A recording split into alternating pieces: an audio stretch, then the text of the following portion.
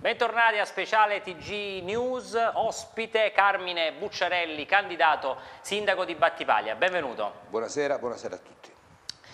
Ecco, la notizia del momento a Battipaglia dal punto di vista politico eh, è rappresentata dalle dimissioni dell'assessore Davide Bruno che la scorsa settimana ha sbattuto la porta, diciamo, dell'amministrazione comunale ed ha annunciato le sue dimissioni dalla carica di assessore, eh, ha parlato di mancanza di interlocuzione con la sindaca, di cantieri fermi, di progetti eh, fermi al palo. Lei che idea si è fatto da candidato sindaco e quindi da osservatore privilegiato della situazione politica battipagliese?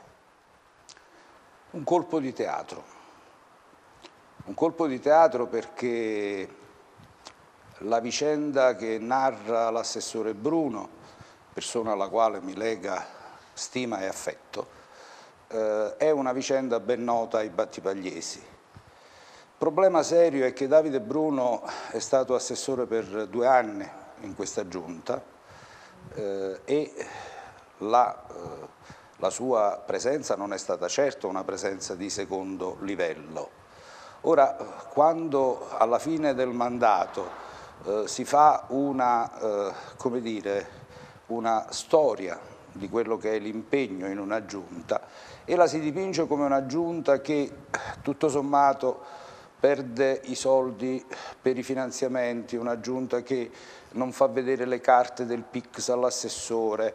E insomma tutta quella serie di questioni sulle quali ovviamente io non, non scendo nel dettaglio se non per rappresentarle ai cittadini, eh, eh, come elemento significativo di qual è il rapporto, di qual è stato il rapporto tra questa amministrazione e i suoi rappresentanti, gli stessi suoi rappresentanti. Ebbene, dicevo, quando si fa la lista della spesa si narra di un fallimento politico, che è innanzitutto un fallimento politico personale e poi un fallimento politico dell'intera amministrazione. Però ho detto colpo di teatro perché? Perché a me questa storia della difficoltà eh, eh, in, una, dire, in una compagine amministrativa a affermare il proprio essere, il proprio io, le proprie idee, mi sa tanto di quella storia che spesso si sente, come dire io sono io, faccio le cose, poi non me le fanno fare e me ne vado dall'altra parte. Ora, se questo è, diciamolo ai cittadini, che continua questo balletto un poco anche strano, stucchevole tra i candidati eh, di Visconti, i candidati di Santese. Di fatto i battipagliesi sanno con certezza che questa amministrazione... Francese. Come? Francese. Francese. Chiedo scusa, era solo un lapsus lingua. Eh, di fatto i battipagliesi sanno che questa è un'amministrazione che nel rappresentare se stessa rappresenta eh, eh, una eh, sequela di inadempienze e quindi una sequela di eh, eh, fatti concreti per i quali i battipagliesi sono assolutamente autorizzati e abilitati a cambiare registro. Il, problem il problema è capire se c'è la proposta alternativa e qui vengo al colpo di teatro di Davide Bruno.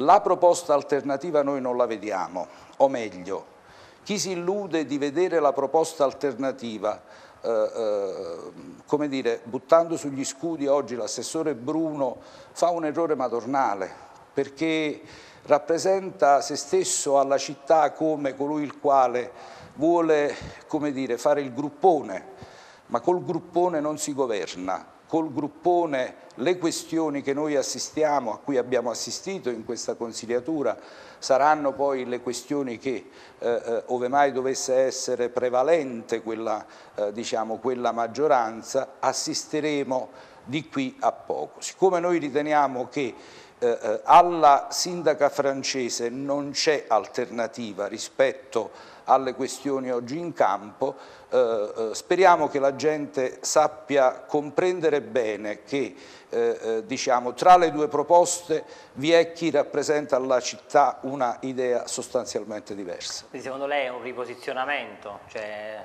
Lascio è solo francese per andare dall'altra parte. Guardi, è solo un riposizionamento. Se, lei, se tu consideri eh, che eh, l'ultimo bilancio comunale è stato votato da un consigliere comunale che non si candida più con l'amministrazione francese, il, la misura è colma, cioè i battipagliesi devono comprendere che questi balletti sono balletti a cui stanno assistendo da 20 anni. È venuto il momento di dire no, è venuto il momento di andare al di là dei balletti e soprattutto, se mi consentite, è venuto il momento di andare al di là di una classe politica che non perde occasione per dimostrare la sua debolezza, la sua, diciamo, il suo legame esclusivo al potere. I consiglieri comunali, i cosiddetti consiglieri comunali forti, oggi eh, cercano posizione, alcuni di questi non sanno ancora dove eh, debbono posizionarsi. Essi sono completamente disattenti rispetto alla eh, eh alla, diciamo, al progetto teorico, a quello che un sindaco e un'amministrazione rappresenta. Noi vorremmo dare voce a una città diversa, vorremmo dare voce a una città che si interessa del progetto teorico, un, a una città che fa proprio una ipotesi di sviluppo della propria città e quindi eh, eh su questo esprime un gradimento per una, eh, per un, diciamo, per una maggioranza o per un'altra. Di qui l'idea del civismo. Eh, eh, il nostro civismo, io dico sempre, non è un civismo che mortifica i partiti, non li vuole mortificare i partiti, eh, ehm, ma è un civismo che tende a dire alla gente è venuto il momento per fare chiarezza, è venuto il momento di qui a qualche tempo ad abituarci a considerare che eh, eh i cosiddetti tavoli di centrodestra, centrosinistra o centro si, eh, come dire, si, si danno battaglia su un'idea ma non sulle persone e siccome il fallimento è completo ora bisogna dare una spallata seria. Lei qualche giorno fa ha scritto una cosa significativa secondo me ehm, e che poi si pone in scena con quello che ha appena detto, cioè eh, verità significa considerare che tra i candidati di apparato, cioè quelli dei maggiori competitor, se così li possiamo definire, cioè Cecilia Francese, sindaca uscente Antonio, Visc Antonio Visconti, non vi sono differenze. Essi hanno partecipato a pieno titolo alla gestione della cosa pubblica cittadina, la prima come sindaco e il secondo come presidente dell'ASI. Beh, questo dovrebbero, eh, diciamo, questo lo ribadisco in pieno, dovrebbero eh, porre mente a questa cosa i cittadini di Battipaglia. Oggi non c'è nessuno che può tirarsi fuori da una gestione amministrativa che ha reso la città quella che è, una città nella quale ovviamente non tutto è da buttare, ma certamente voglio dire una città che merita uno scatto diverso soprattutto merita quell'attenzione che questa amministrazione doveva dare alla città di Battipaglia all'indomani dello scioglimento del Consiglio Comunale per motivi di infiltrazione camorristica. L'avvicinamento della città, dei cittadini all'istituzione era un dovere primario di questa amministrazione. Qui il fallimento completo di questa amministrazione e certamente, voglio dire, non, non, non, rappresenta un elemento positivo questo. Noi siamo arrivati ad oggi, a cinque anni da quell'esperienza, a dire le stesse cose. Perché oggi non si può tirare dietro nessuno rispetto a questa gestione? Perché se la sindaca ha il fardello della gestione amministrativa e non rappresenta oggi il, eh, diciamo, un, eh, eh come dire, non rende il conto ai cittadini di un periodo di gestione importante, eh, dall'altra parte non certamente ci troviamo di fronte ad un'alternativa di sistema, ad un'alternativa concreta eh, l'ho detto prima, il gruppone, cioè la voglia di rappresentarsi come il candidato delle 13 liste. Io ricordo la prima conferenza stampa di Visconti dove c'erano questi 13 simboli di partito, campeggiava anche il simbolo del PD, ora non si sa bene se questo simbolo c'è o non c'è, ma anche qui insomma siamo nell'ambito delle cose, come dire, eh, avvolte dal mistero. Eh, ehm, questi 13 simboli che dovrebbero rappresentare 13 liste di Visconti sono niente affatto che la voglia di rappresentarsi, una voglia muscolare, di rappresentarsi alla gente come chi è forte.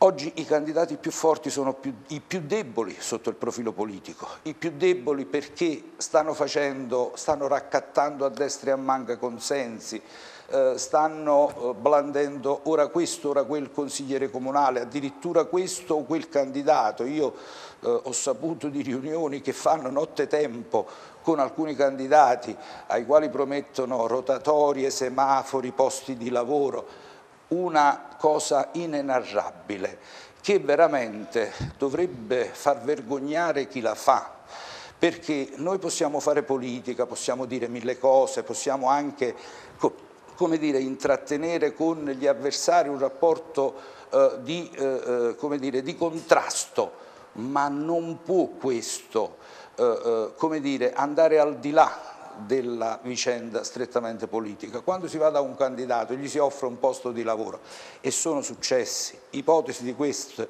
ipotesi di questa natura sono ormai all'ordine del giorno, gli si chiedere, gli si va ad offrire un posto di lavoro.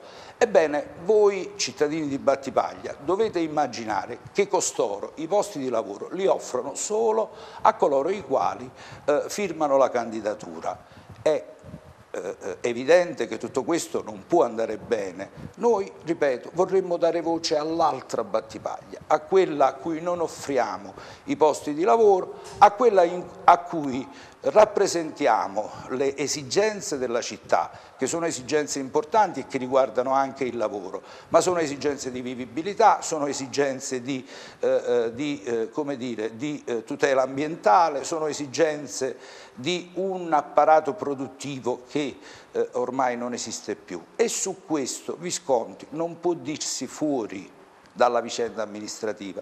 Visconti gestisce l'ASI da quattro anni. È praticamente colui il quale è presidente di un ente importantissimo per il futuro di Battipaglia.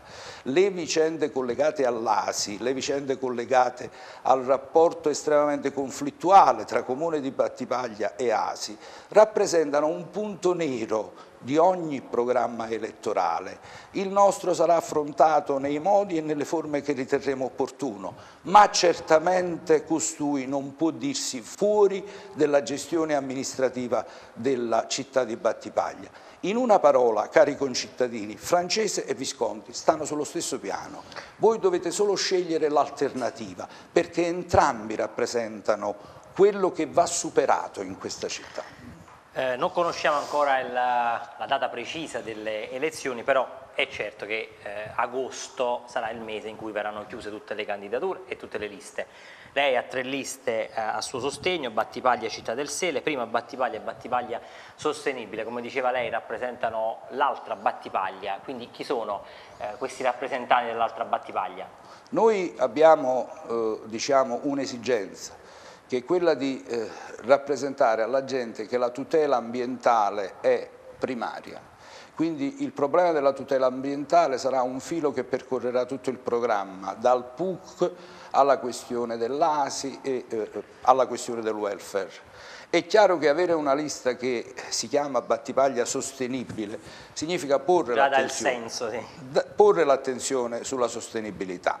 Ora, questa lista avrà sulle spalle il programma, eh, sarà un programma di grande attenzione che noi pubblicheremo sul mio sito eh, ed è una lista che si incaricherà di dire ai cittadini di Battipaglia queste sono le cose che vogliamo fare, queste sono le esigenze di questa città, vorremmo vivere in una città che non costringe più nessuno ad andare via, ma eh, eh voglio dire dà la possibilità ai suoi figli, ai giovani in particolar modo, di eh, eh andare avanti e di avere un futuro in questa città. Sarà una lista di giovani, prevalentemente di giovani.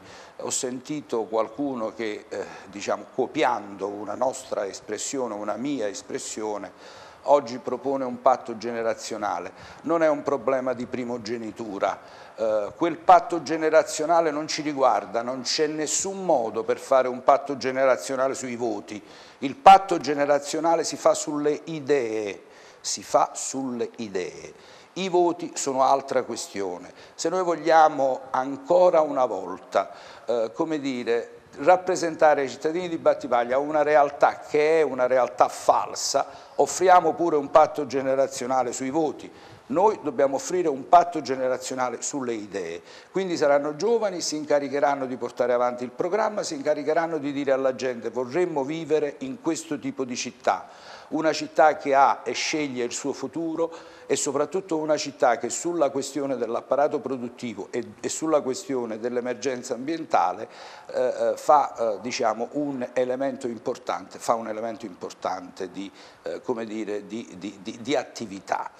Eh, I candidati, beh, sui candidati noi vorremmo dare veramente più spazio al Consiglio Comunale, eh, lo abbiamo detto poc'anzi anche fuori dall'intervista. Ehm, eh, la legge sui sindaci va, secondo il mio, il mio giudizio modesto, ripensata, ripensata soprattutto laddove eh, eh, si disegna il rapporto tra maggioranza e eh, eh sindaco. Eh, la, la, nostra sindaca eh, fa diciamo, vanto alla sua amministrazione di essere stata cinque anni in carica. Io personalmente non lo farei questo vanto, per un motivo molto semplice, ha cambiato quattro maggioranze diverse e tutte e quattro eh, eh, eh sempre eh, perché una parte di essa era andata via, bisognava mettere un altro assessore, poi bisognava mettere un altro assessore, poi bisognava mettere Bruno che dice di stare o di essere stato in amministrazione come il consigliere del PD, se ne ricorda dopo due anni, eh, eh, beh, perché bisognava togliere coloro i quali erano stati messi prima, eh, mi riferisco, alla, eh, mi riferisco alle, alle persone sostituite in quell'occasione. Eh, non ha senso, questa è una vicenda che non ha senso. Noi dobbiamo dire alla città, siamo una maggioranza, vorremmo portare avanti questo comune per il periodo che la legge dice di portarlo avanti, sono cinque anni. Non vogliamo cambiare maggioranza, chi è opposizione nel Consiglio Comunale faccia l'opposizione, chi è governo faccia il governo. Ma questo è, se continuiamo nei balletti probabilmente anche il futuro di questa città sarà destinato ai balletti e questo è gravissimo, questa classe politica non, più, non, può più farlo. Non è un problema che riguarda me, è un problema che riguarda la città. Cioè se la città è ancora inchiodata alle vicende personali di questo, di quel candidato, non sindaco, ma al Consiglio Comunale, di questa o di quella vicenda, vediamo eh, vediamo la formazione delle liste è evidente in questo senso, vediamo eh, come dire, ripescaggi dell'ultima ora, cose assolutamente inimmaginabili qualche mese fa, eppure ciò accade. Perché ciò accade? Perché ai cittadini nessuno rappresenta un'idea di città, né la francese, né Visconti, né gli altri. Noi vogliamo rappresentare un'idea di città e vorremmo che su questa idea di città ci fosse confronto io, malgrado dico, vorrei un confronto con questi candidati sindaco, nessuno viene a confrontarsi con me.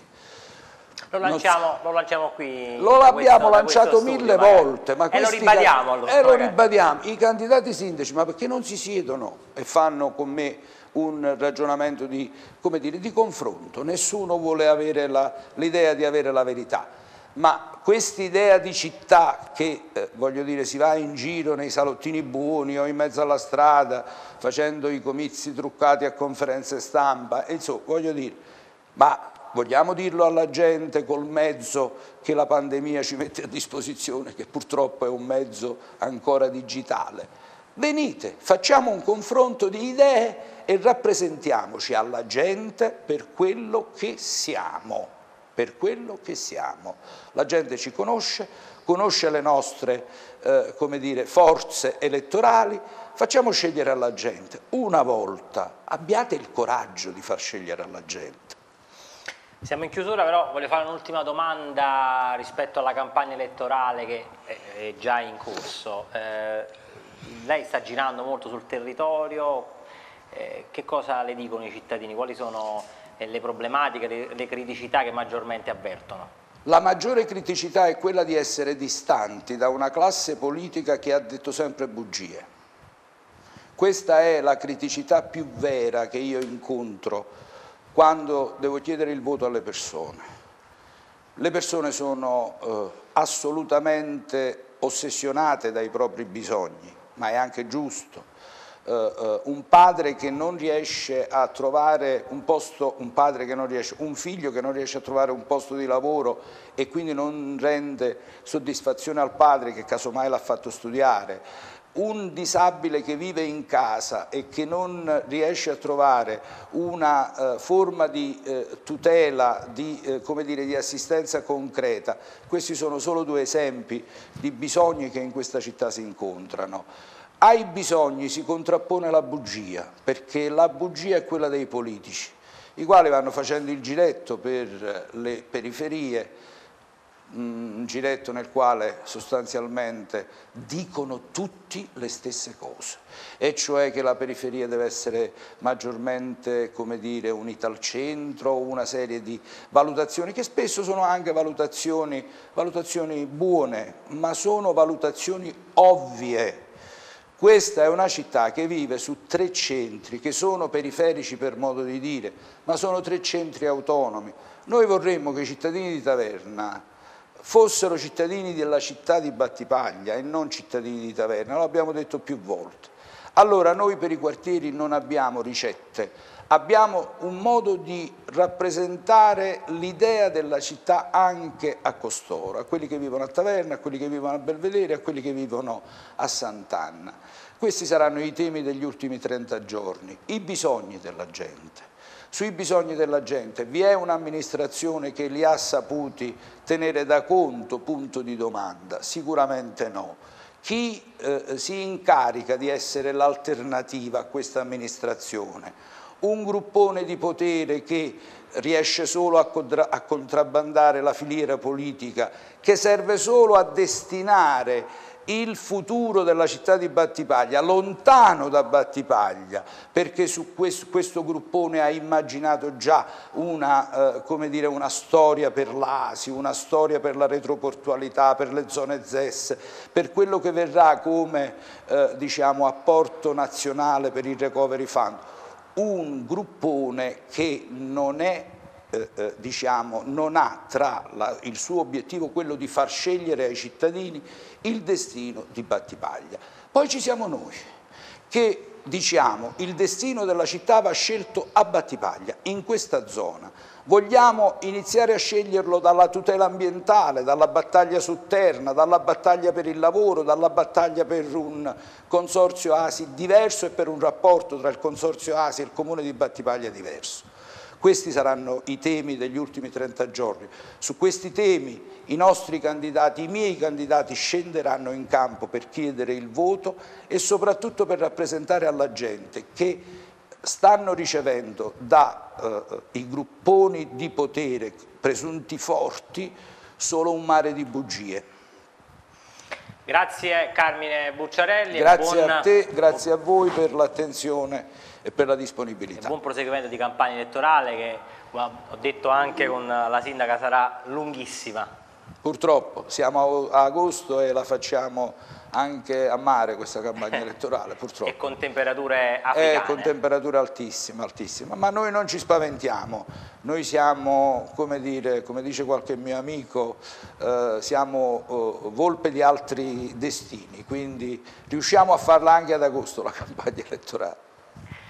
Io ringrazio tutti voi dell'attenzione, vi do appuntamento alla prossima puntata di Speciale TG News.